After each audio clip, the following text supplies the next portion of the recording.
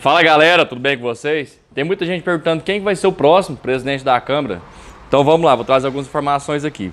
A vereadora mais votada na eleição foi a Chiquita, 2.701 votos. Creio eu que foi a mais votada da história. Eu tava dando uma olhada ali e não achei que ninguém que teve essa votação. Se alguém tiver com informação, pode comentar aí no, no vídeo. É, então vai ser o seguinte, ela vai começar é, no primeiro dia, vai presidir, e depois vai realizar uma votação entre todos os vereadores eleitos para decidir qual será o próximo vereador é, para presidir todas as reuniões. O mandato dele dura durante dois anos e daqui dois anos tem outra eleição novamente para decidir o próximo. É, vai ser dia 1 de janeiro. É, o presidente ganha mais? Como que funciona? Não, ele não ganha mais. Ele tem apenas, é, se não me engano, é um assessor a mais para estar tá ajudando ele auxiliar nos trabalhos da casa, é, da, da Câmara Municipal.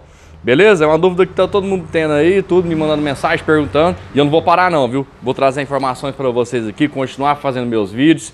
E estamos no caminho certo. A galera tá se preocupando mais com política e tá dando tudo certo. Beleza? O patrocínio tá cada vez melhor e vai dar tudo certo. Grande abraço!